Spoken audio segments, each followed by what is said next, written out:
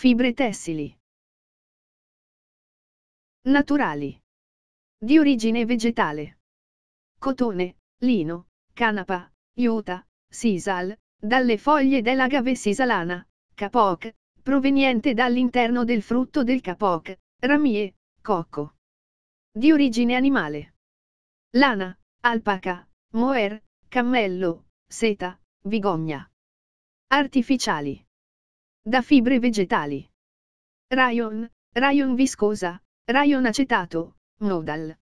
Da proteine animali. Lanital, merinova. Sintetiche. Nylon, terital, teflon, poliestere, elastan, poliuretano, leacril. Definizione. Le fibre tessili sono prodotti fibrosi di origine naturale o artificiale, che opportunamente lavorati, danno origine a un filato. Il filato è un insieme di fibre tessili unite e ritorte in modo da formare un filo continuo, che può essere usato per confezionare i tessuti. Il cotone. Il frutto del cotone è una capsula, che contiene semi ricoperti da una peluria cellulosica, bambagia, da cui si ricava la fibra tessile. È coltivato in zone a clima caldo, tropicale e temperato come Cina, Stati Uniti, India e Pakistan, Grecia, Spagna. Caratteristiche. Idrofilo. Assorbe umidità e la lascia evaporare all'esterno.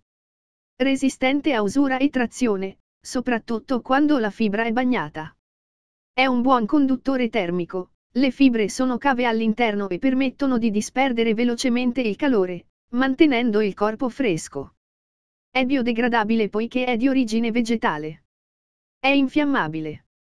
Gli abiti da lavoro vanno sottoposti a trattamenti al fuoco. È poco flessibile, si stropiccia. Si restringe se bagnato. Per rimediare si aggiunge una piccola quantità di poliestere. Lavorazione del cotone. Il processo di lavorazione inizia con la raccolta dei semi, che vengono inseriti nella macchina sgranatrice per eliminare foglie, polvere, terra e separare da queste la fibra, che viene raccolta in grandi balle. In seguito queste balle passano in un'altra macchina, che ricava segmenti di fibra lunghi qualche centimetro, a loro volta arrotolati per formare fili, che possono essere usati per ottenere tessuti. Il lino. Il lino è la fibra derivata dal fusto di una pianta erbacea, alta circa un metro, con piccoli fiori bianchi o azzurri, che fioriscono solo per un giorno. Oltre alla cellulosa, Contiene anche lignina, grassi e cere.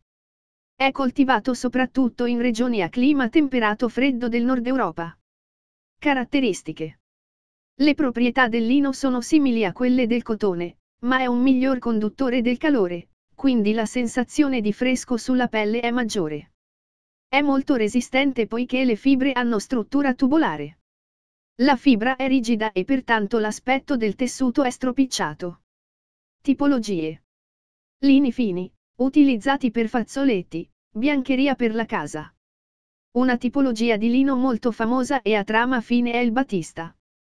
Lini con fibre di mezza dimensione, utilizzati per i capi d'abbigliamento e le lenzuola. Lini con fibre spesse e trama regolare, utilizzati per tovaglie e canovacci robusti. Lavorazione. Raccolta. In questa prima fase la pianta è prelevata dal suolo e messa a macerare. I tempi di raccolta variano in base al tipo di fibra che si intende ottenere. Per esempio, nel caso si desideri una fibra sottile si raccoglierà la pianta in tempi celeri, quando è ancora tenera. Più si attende e più spessa sarà la fibra. Strigliatura. La seconda fase prevede l'estrazione delle fibre di lino dalla pianta, a cui seguono le procedure di pulizia e pettinatura. Filatura. Una volta pulite e pettinate, le fibre di lino vengono lavorate con diverse tecniche per realizzare i prodotti desiderati. Nobilitazione. L'ultima tappa della lavorazione del lino va ad impreziosire il tessuto in base al prodotto che si vuole ottenere. Si può per esempio tinteggiare il tessuto o lavorarlo per rendere più rigide le fibre, e quindi anche più resistente e tenace il prodotto in lino. Vantaggi. Resistente ai lavaggi e all'uso. La sua composizione lo rende un tessuto a lunga durata. Sostenibile. La fibra è naturale, riciclabile e biodegradabile. Traspirante. Assorbe l'umidità senza trattenerla. Termoregolatore. Si adatta al clima donando freschezza o mantenendo il calore. Anallergico. Non provoca allergie. La lana. La lana si ricava dal vello di pecore, capre, cammelli e lama. Si ottiene tosando a mano o a macchina gli animali vivi, successivamente viene lavata e dai residui delle acque di lavaggio si ricava la lanolina, un grasso impiegato nell'industria dei saponi. La lana ricavata dal dorso è di miglior qualità, in quanto è più morbida ed è composta da fibre sottili resistenti ed elastiche. Caratteristiche. La lana è un ottimo isolante termico, e a differenza di ogni altro tipo di fibra mantiene le sue capacità isolanti anche quando è bagnata. La lana è naturalmente resistente all'acqua proprio grazie alle scaglie di cheratina e agli oli naturali presenti nel pelo degli animali. È igroscopica. Assorbe l'umidità per circa un terzo del suo peso e la struttura stessa delle fibre aiuta a mantenere quest'acqua sullo strato esterno del tessuto. Le fibre intrecciate allontanano l'acqua dalla pelle e la depositano all'esterno del capo di abbigliamento. Resistente agli odori e antimicrobica. Ignifuga. La lana è altamente resistente al fuoco perché ha una temperatura di combustione molto elevata. Si infeltrisce dopo ripetuti lavaggi, le fibre si saldano, infittendo la massa. Tipologie. Dal vello degli ovini, esempio lana merinos, molto pregiata, proveniente soprattutto da allevamenti in Australia, Shetland. Da caprini, mohair, vello delle capre d'Angora, in Turchia, Kashmir, capre degli altipiani freddi di Mongolia, Tibet e Iran. Da camellidi, il cammello, dal sottopelo del dromedario africano e del cammello asiatico, la vigogna, l'alpaca, il lama, ricavata dal vello di questi animali che vivono sugli altopiani delle Ande. Lavorazione. Tosatura. Separazione del vello dal corpo dell'animale con tosatrice manuale o meccanica. Cernita. Dal vello intero si separa la lana delle spalle e dei fianchi, fine e lunga, della schiena, corta e ruvida, e del ventre, corta e debole. Lavaggio della lana. Con ripetuti lavaggi in acqua tiepida con sostanze sgrassanti e detergenti la lana viene pulita e sgrassata. Dall'acqua sporca di scarico si estrae il grasso puro, l'anolina, impiegata nell'industria chimica e farmaceutica. Asciugatura effettuata con aria calda. Cardatura e pettinatura. Per il ciclo pettinato la lana subisce l'operazione di cardatura che consiste nel liberare dalle impurità, districare e rendere parallele le fibre tessili, al fine di permettere le successive operazioni di filatura. Successivamente si ha la pettinatura che consiste nell'ordinare le fibre tessili dopo che sono state cardate. Simboli.